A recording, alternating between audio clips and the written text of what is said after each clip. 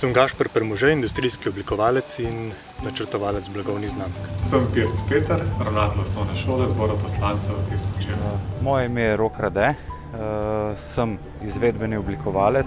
Moje ime je Bine Likar, prihajam iz Lukčeve domačije, turistične kmetije.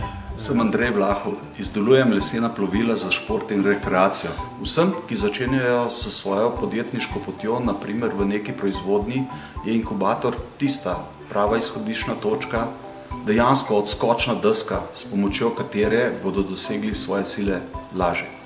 Pomagajo organizirati proizvodnjo, pomagajo izdelati prototip, pomagajo razviti idejo in kar je mogoče najbolj pomembno, preko inkubatorja lahko priješ do stikov, ki v tem področju pomagajo tudi finančno. V šoli mi lahko ponudimo čez naš šolski program marsikaj, ampak če želimo povezati gospodarstvo in šolstvo skupaj, je sigurno inkubator tista najboljša zadeva, skozi katero lahko učenci občutijo, kaj je to resnično delo v neki delavnici.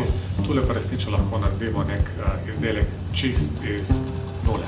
Že takoj na samem začetku sem dobil ogromno informacij o tem, kako ustanoviti podjetje, kje bi lahko dobil prostore za izvajanje svoje dejavnosti. Zaradi tega so mi ponudili v najem svoje prostore. Na inkubator pridem po različne informacije, po nasvete, udeležujem se različnih delavnic, ki mi pri poslu pomagajo. Delavnice, recimo produktna fotografija, je bila ena zanimiva izkušnja. Predavanja na inkubatorju so zelo koristna. Na inkubatorju sem dobil tudi ljudi, ki so mi pomagali izvesti moj projekt.